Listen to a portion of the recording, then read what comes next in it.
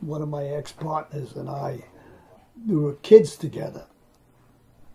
We built a boat in his garage, 20 foot, 21 foot, and we used it on the Hudson River. Matter of fact, we used to watch, uh, drive under the Tappan Zee Bridge when they were building the Tappan Zee Bridge, and we used to give them the finger and they'd throw river at us. That's what we did with our boat. And I started here in 59, I was 57. I spent two years down there. And uh, Tobin Craft was the company. My family had uh, invested in this corporation, Mm-hmm. Tobin Craft Incorporated. Actually, we were went public. Most of the, the tricks, what do you call it, the sub skills, uh, I learned from an old gentleman down in, in Jersey that just somehow took a liking to me. And he said, Artie, you, you really take into this. Can I work with you and show you what I know? I said, sure. And what we did down there, and we took away everybody's ruler. And we made templates. And everything was templated. All you did was lay it on, cut it out, and put it on. I said, get rid of the stupids. That's what I used to say. And uh, some of them, I, I, I remember them, what he used to call them, this is the bird's mouth, and there's your, there's your stop water. When you're building a keel, and the stem come down, you put it in, and you mount the keel to the stem.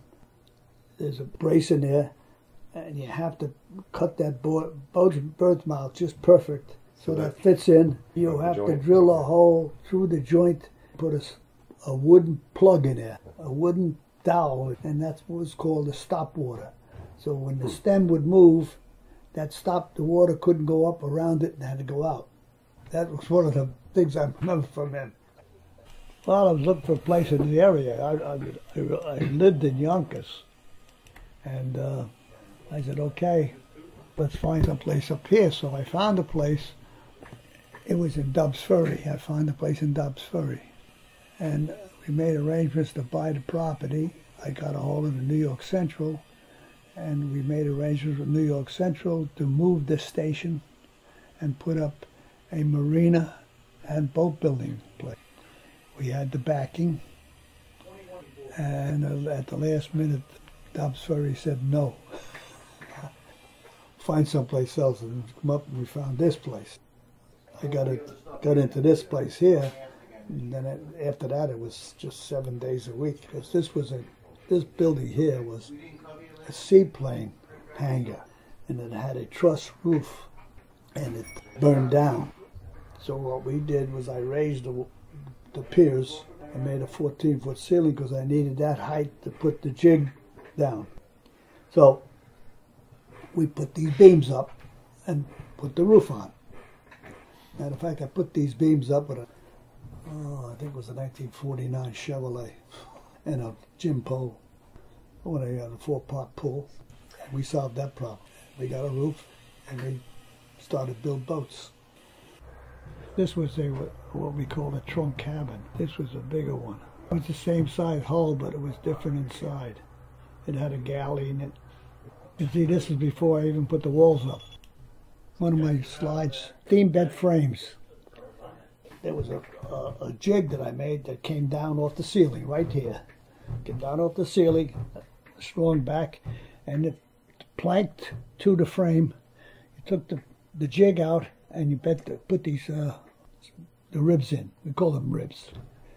Uh, I only made two models. I made one without a hard top and one with a hard. And I made only three or four of the ones what they call a cabin cruiser. Made everything out of mahogany. That- See, with the with the mahogany, you had to put them in and you had to soak them, so they would seal and soak them, and and the wood would swell and they wouldn't leak. This is the boat. This is what you see right here. There's the boat, the hull being framed, and the, there's the plank. Then it went from there to here. And this is where we put the motor beds in and the engine in and the mm-hmm. forward deck on. This is where we started to finish it off. This is my brother. That's the Long Island Marathon boat. And we won it. This is my driver. This is his crew. This is my brother. I think this is a salesman. that I had working for us.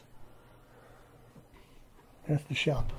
So we had, uh, I put an auxiliary tank on. I think they had to stop for fuel once. It's 150 miles around Long Island.